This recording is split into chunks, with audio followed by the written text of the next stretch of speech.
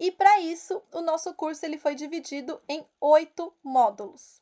Então, no primeiro módulo, que é o módulo A Madeira na Construção, a gente vai entender da onde que vem a matéria-prima que a gente está utilizando para a construção das nossas estruturas de madeira engenheirada. Então, como que essa matéria-prima ela está relacionada ao conceito de sustentabilidade, quais são as características dessa madeira, como que ela se deteriora e também como que ela pode ser preservada.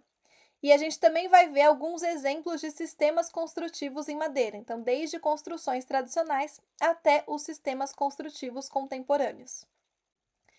E no segundo módulo, a gente já vai entrar no processo construtivo das estruturas de madeira engenheirada.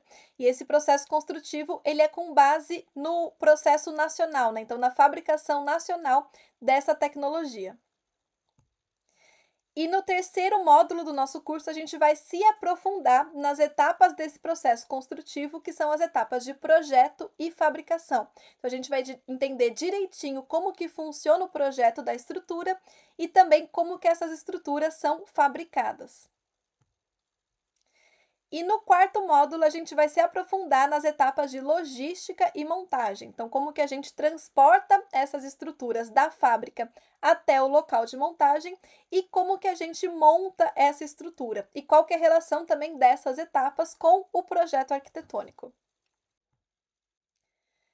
E no quinto tópico, a gente vai entender como que a gente conclui a edificação de madeira engenheirada. Então, a gente entendeu no, nos primeiros tópicos como que a gente monta essa estrutura de madeira engenheirada e agora a gente vai entender como que a gente finaliza essa edificação. Então, como que a gente monta esse envelope, essa fachada da edificação e como que a gente finaliza as instalações prediais dessa estrutura. E no sexto tópico, a gente vai ver quais são as tipologias construtivas dessas estruturas de madeira engenheirada. Então, como que eu posso compor a minha estrutura? Se eu posso utilizar só painéis de CLT ou painéis de CLT com vigas e pilares de glulam ou apenas vigas e pilares de glulam ou associar essas estruturas a outros elementos construtivos, então a outros sistemas construtivos, como pilares e vigas metálicos, como estruturas de concreto, como alvenaria. Então, como que eu vou compor essa minha estrutura de madeira engenheirada? E no sétimo tópico, a gente vai entender como otimizar essa estrutura, né? Então, como atingir a otimização dessa estrutura no projeto arquitetônico. E a gente também vai entender como que a gente pode precificar essa estrutura. Então, como que são os custos dessa estrutura.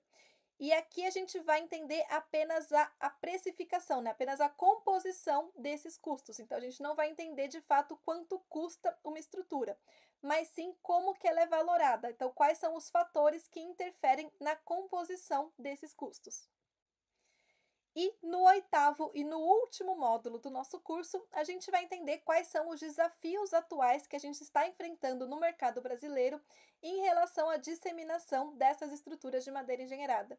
E também quais são as premissas que a gente tem que inserir no nosso projeto arquitetônico, né, que a gente vai considerar no nosso projeto arquitetônico para atingir uma estrutura realmente otimizada, uma estrutura que pode ser viabilizada.